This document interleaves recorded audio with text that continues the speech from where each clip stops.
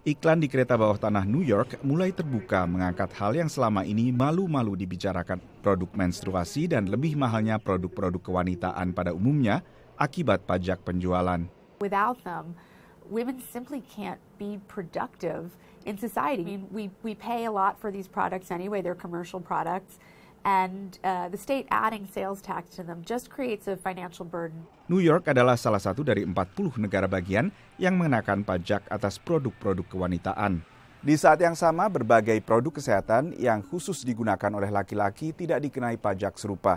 Di antaranya adalah kontrasepsi bagi laki-laki dan juga berbagai produk penumbuh rambut yang lebih banyak digunakan oleh konsumen laki-laki.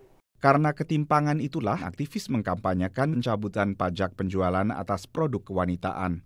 For a family that has two or three daughters and is living either paycheck to paycheck or by you know with public assistance, um, and it comes down to the uh, you know the decision of paying the rent or shelling out you know 15 20 dollars for tampons and pads for the for the females in the house um, that's a problem Presiden Barack Obama pun ikut memberikan pendapatnya terhadap ketimpangan ini dalam wawancaranya baru-baru ini lewat situs video YouTube. I have no idea why states would tax these as luxury items. I, I suspect it's because men were making the laws yeah. when those taxes were passed. And uh, I think it's pretty sensible for women in those states that you just mentioned Uh, to work to get those taxes removed. Tuntutan pencabutan pajak penjualan untuk produk kewanitaan juga disampaikan lewat petisi online di change.org.